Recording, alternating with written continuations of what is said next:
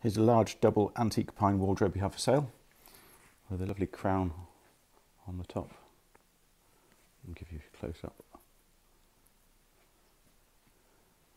So there are the two doors.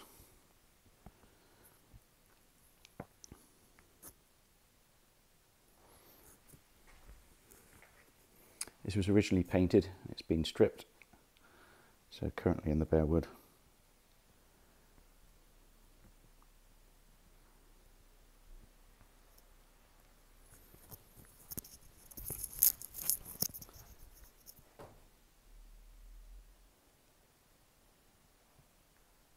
This totally dismantles for delivery, so it will go up any stairway and I can come and deliver it and put it together for you if you'd like me to.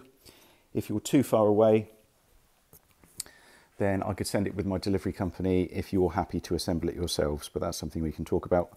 And if necessary, I could record a video of me putting it together for you just to give you some instruction. The internal depth is 21 inches, so that's nice and deep. So that's the measurement there, the hanging space. So that's 21 inches. So that should be deep enough for hanging big coats and everything in there.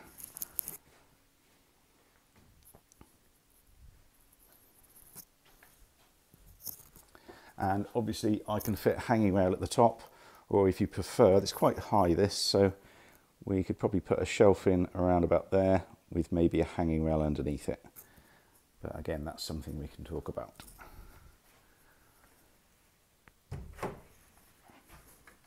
Sometimes some people like me to put a little a little shelf at the bottom near the bottom sort of a half depth shelf something like that for your shoes. So I did that the other day for somebody. It looked quite good quite practical. The code number C8305E the price is 950 as it is.